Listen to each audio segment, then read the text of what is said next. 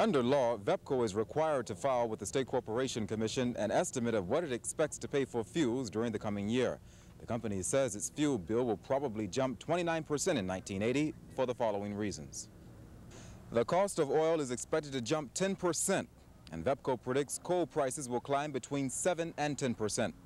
That means instead of the $778 million the company paid for fuels this year, VEPCO's fuel bill in 1980 is expected to hit the $1 billion mark, 10 times what it was in 1970.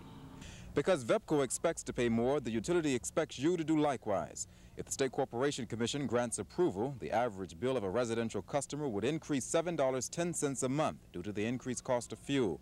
And that would mean a rate hike of 12.7 percent. But there is one bright spot in all this, at least according to VEPCO. It involves the utility's North Anna nuclear generating station.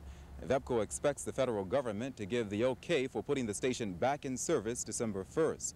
This will mean a savings to you of about $3 a month, according to VEPCO. In other words, your high fuel bills in 1980 could be $3 more without North Anna. Tony Rawls, Area 10 Eyewitness News, Norfolk.